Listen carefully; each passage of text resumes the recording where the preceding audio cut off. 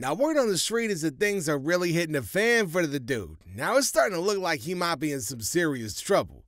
But guess what? There's people who saw it coming before the raid. Now, these are the times rappers warned us about Diddy. Who gonna turn down 50 million? Now, I've had to turn down 50 million dollars four times just to protect my integrity and that virgin hole I was telling you about.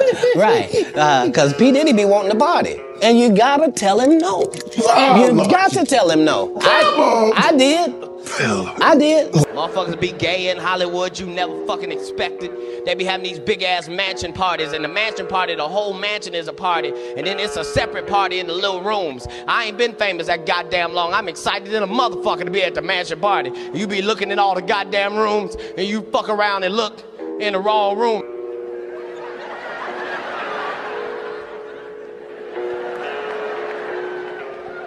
Nick, come here. Why you think I speak with such clarity? I'm actually involved in each one of these stories I told you about. Now, 50 Cent didn't really take that offer kindly to Diddy's offer. Now, I don't think he got the memo. See, Curtis Jackson ain't somebody you really want to make an enemy out of, and while he was promoting his movie Den of Thieves, he name dropped Diddy again. He says things, he doesn't even know what he's saying is like fruity. That's the kind of stuff that when people say that to me, I get a little uncomfortable. I get uncomfortable. Like he said, he said something to me one time, a long time ago, at Chris Lighty's wedding. He told me he'd take me shopping. I looked at him like, what the, what the, what'd you just say? Let me move, man, before I do something. You're gonna make me mess up the wedding. Oh, oh that's a nice gesture. Let's Let me get out of no, dude, take me. That's, that's what a guy says to a girl. I have 50 about that. And he said you did the same thing to him. You asked him to take him shopping. Yeah. I thought he needed some clothes. what? I'm a nice guy. Is Sean approved from the world of entertainment? There's only one person. Oh, go on. And I call him Sean. That's Jay Z. We call each other Sean. Okay. Yeah, yeah. Nobody else could call me Sean. He's and the only person who's Sean single, approved. There's not a single person that that outside be, of family that should be no outside of my mother. Okay, just that should be calling me. This shows how close he is with fellow rapper Jay Z. And Ice Cube's gotten into the mix too by stirring the pot. Now he believes Jay Z and Beyonce are trying to cover up for Diddy. Now what could they be covering up and trying to hide? Uh-oh. Oh man. He's smarter. He's patient. He's not sloppy.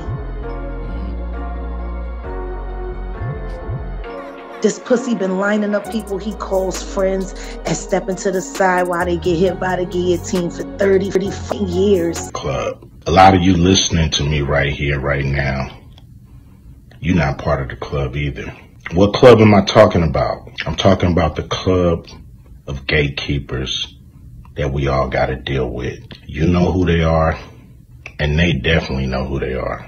Ever since I put out the contract with Black America, you know they've been fucking with me. The NBA been fucking with us. A lot of people might say like, well, but Cube, you want to work with the NBA. Really, I don't give a fuck about working with the NBA. When I say work with us, is to stop working against us. Stop doing that bullshit behind the scenes that we know you're doing. Mainstream media, you know, they ain't fucking with us.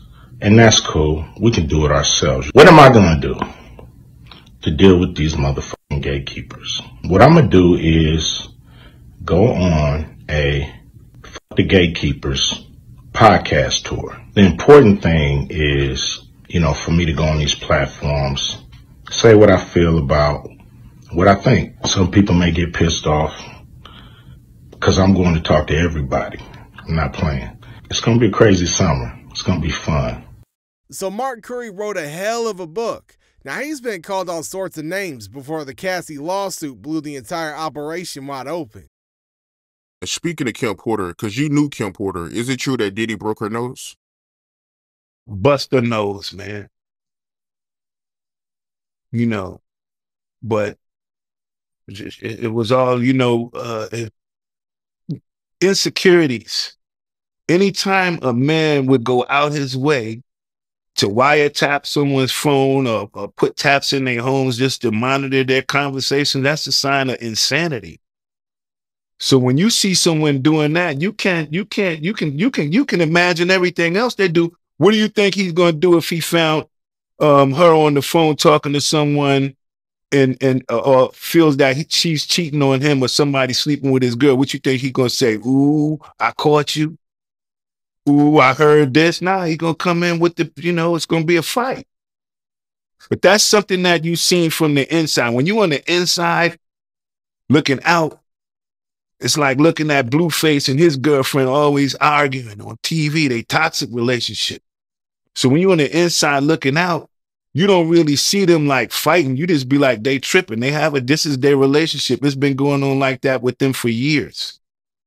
So usually when you notice Puff was in those kind of violent relationships with his females, they was, they, this been going on ever since two, three years. This ain't just something that just happened. This ain't the first fight. It ain't the last fight. You know? Yeah, I noticed all. I seen, I seen a lot. I seen him walking with scratches and bruises on his face. And you'd be like, who scratched you up, dog? Who's scratching you? What you had a fight with a cat? What's going on? You know. So he put his hands on females, put his hands on producers, executives. He that's you know, that's just his was his I guess that's what the whole name bad boy comes from that people don't really understand. What is it? What is a bad boy? What makes Oh, so guess who wasn't surprised that Diddy's house was raided? Michael J. White to warn us in his song titled The Industry. He also went on interview rounds. Now, the suspicion here is that anybody who tried to call out Diddy in the past is either six feet deep or dismissed as crazy. Uh, a lot of the love I had for wanting to, you know, for wanting to be a part of the industry is not there anymore. I'm not, I'm not, I don't even associate myself with the industry. You know what I'm saying? I'm not an industry artist. I'm an artist in the industry. Uptown Records started with five people. Andre Harrell,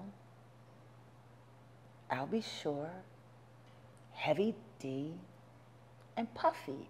And Kim was the longest working employee because she was there from the very beginning. She was Andre's personal assistant. Mm. Kim is dead. Heavy D is dead.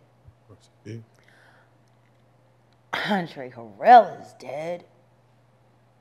The only two left are Puffy and Al, and Al almost died. Isn't that interesting? That is interesting. Heavy D was found dead, face down in the heart attack. Andre Harrell, heart attack. Kim died from pneumonia, but there's the first coroner's report that said that she died. It, it, was ruled a homicide, and they found toxins in her body to prove that she had been poisoned. You know, they, they have poisons that create heart attack and pneumonia like symptoms. And then, right after that, Al had a meeting, and I was going to meet up with him because we were in Vegas. And then the next thing you know, You want to know what they all had in common, though? The survivors and the, and, and the late of Uptown Records, they were all writing tell all books. Mm-hmm. Andre was writing a book right before he died. Heavy D was working on a book before he died. Kim Porter was working on a book before she died. And Al B. Sure was working on the documentary of his life. And then he goes into a coma. Has Puffy ever been in a coma? Has he? Has anything happened to him?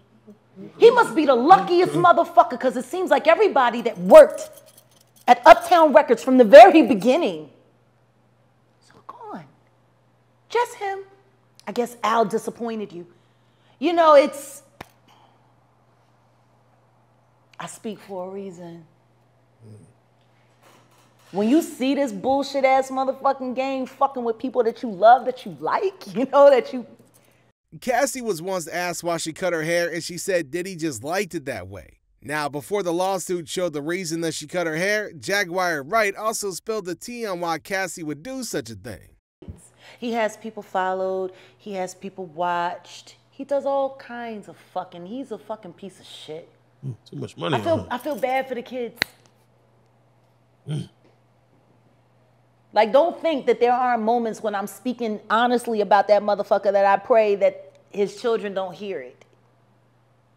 Because that's still their dad. I know what it's like to have a baby with a fucked up ass motherfucker. As much as I can't stand my ex husband, I would never want my son to feel bad about either one of us being his parent. You know what I mean? Like, exactly. I would never want that. Exactly. But their father is the fucking devil. Mm.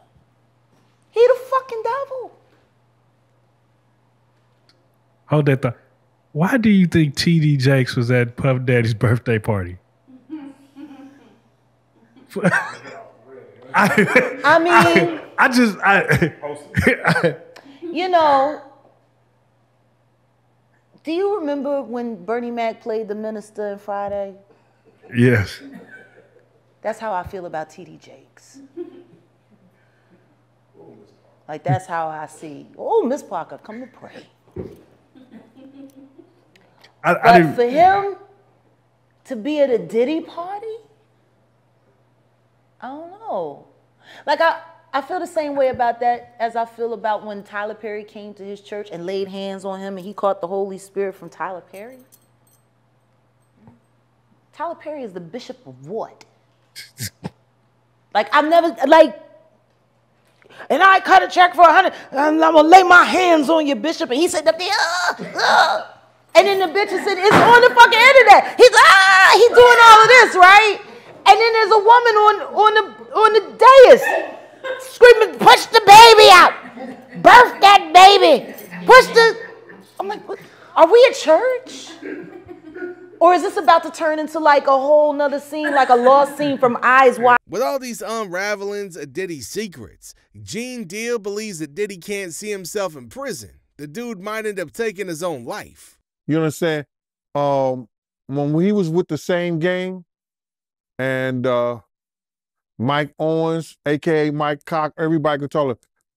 D Ferg did a collection for him because he didn't know how he was going to pay his rent, and he didn't know how he was going to uh, uh, uh, pay his rent, uh, child support, and his car note because he had one of those uh, drop top cabriolets Volkswagens.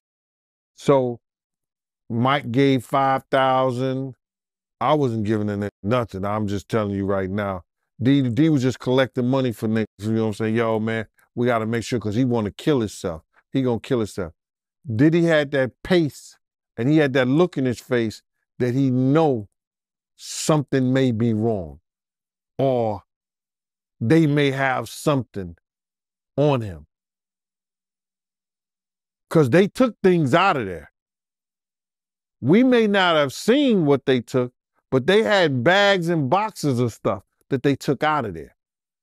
So he knows, he's getting a play by play of what's going on.